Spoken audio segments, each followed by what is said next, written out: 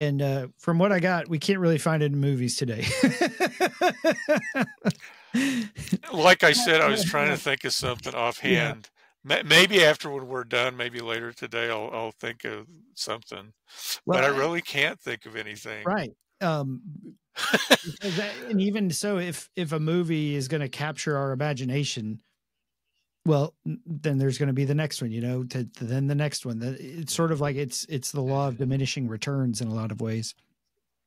Mm-hmm. But some of these concepts, yeah. like if you're looking to increase the the mystery, wonder, and awe in your own life, it requires a slower pace.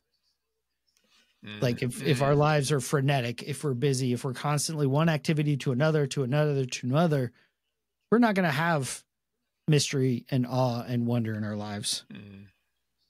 If we, yes, we have to I understand agree. the context. We've it's as you mentioned, and I'll talk about the character idea in a second. But if you if we look at our lives as simply we're here for roughly 70 to 80 years